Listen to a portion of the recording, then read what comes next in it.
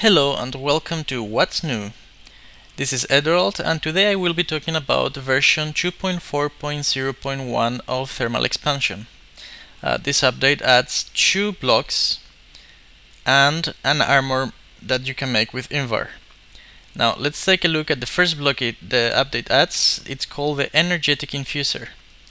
The Energetic Infuser is used to charge, uh, for now, redstone energy cells and to charge uh, modular power suits. So as you can see the cell is charging very fast.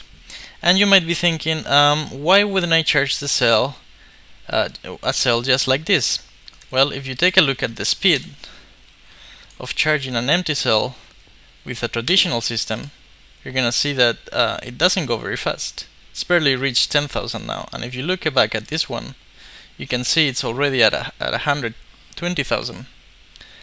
Um, of course, this machine has uh, redstone behavior like all other machines in thermal expansion, and you can configure it to output when the machine has finished uh, charging as well. Uh, okay, next machine is uh, the cyclic cyclic assembler. Uh, this is thermal expansion's answer to auto crafting. To use it, you need to craft yourself some schematics for which you need three paper and one blue ink item like lapis. And once you get it you can put it right here. And then you can set this machine to a certain recipe. So for example if we uh, put a, a, piece of wood here it's gonna show us the output.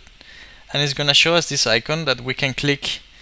And when we click it it's gonna set this schematic to uh, this recipe. So just click it and then when you hover you can see the schematic for four oak wood planks uh, utilizes one oak wood and you can shift click it and then you'll see the um, uh, different name for the for the wood.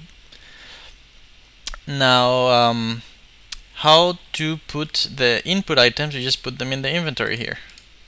And then it's gonna craft them. And it's not putting them here it's actually putting them in the machine to the right because I've configured it like that and as you can see it puts them in the inventory so they're ready to be used. For example if I had set this uh, machine to have this recipe of making um, chests once I set it to do it it's gonna take all the wood it's gonna make chests and you can configure it to go anywhere you like.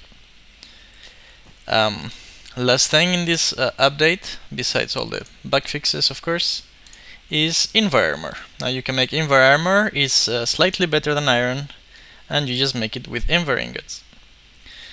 That's all for this update, see you next time!